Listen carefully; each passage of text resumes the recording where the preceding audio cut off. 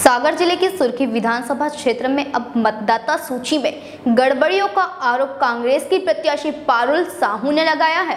पूर्व विधायक पारुल साहू ने मीडिया से चर्चा करते हुए कहा कि कलेक्टर भाजपा प्रत्याशी के प्रतिनिधि के रूप में कार्य कर रहे हैं। उन्होंने बताया कि करीब 9000 फर्जी मतदान जोड़े गए हैं। भाजपा ने हार के डर से यह सभी काम किए हैं। इसकी शिकायत चुनाव आयोग से की है। भोपाल से कांग्रेस के चुनाव प्रभारी जेपी धनोपिया ने मुख्य निर्वाचन पदाधिकारी को भी शिकायत की है। उन्होंने सूची से फर्जी नाम हटाने की मांग की है। सागर से अनिल वर्मा के साथ सलमान कुरेशी की रिपोर्ट। तो तो मध्य प्रदेश में हमारी सरकार होती, फिर हम लोग कांग्रेस की सरकार बनती है पिछले चुनाव में 2018 में तो हमारी सरकार के रहते चुनाव हुए थे तो कलेक्टर अगर जिताते होते चुनाव तो कांग्रेस की सरकार कैसे बनती कैसे बन गई कांग्रेस की सरकार? इसलिए ये सब अनावश्यक की बातें हैं।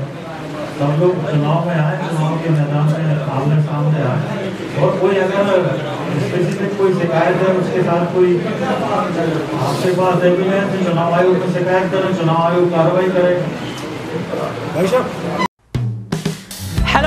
आप देख रहे हैं हमारा channel S W twenty four news हमारे सारे वीडियो सबसे पहले देखने के लिए आप हमारे चैनल को सब्सक्राइब करें और पास में लगे बेल आइकन को दबाना बिल्कुल भी ना भूलें।